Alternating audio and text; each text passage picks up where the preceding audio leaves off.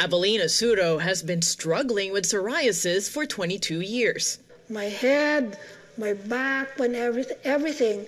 I cannot wear one blouse. She has tried biologics, but they didn't work. All of a sudden, it bloomed all over like liquidy. And it was getting expensive. Okay, my social security is only 800 plus.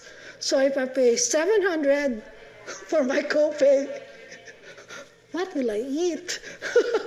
After consulting with several dermatologists, Suro gave UV phototherapy a try. I'm gonna close this and then turn it on. And let there be light. This is one of um, the most effective treatments that I found for psoriasis. Phototherapy is not new when treating psoriasis, but there was always a risk of premature aging or skin cancer.